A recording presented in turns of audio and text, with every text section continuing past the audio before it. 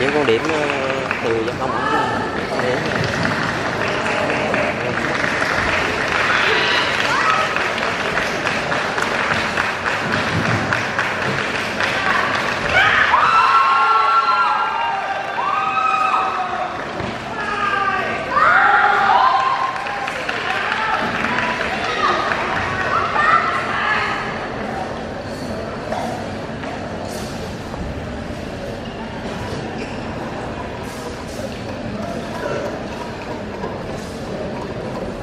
Yeah.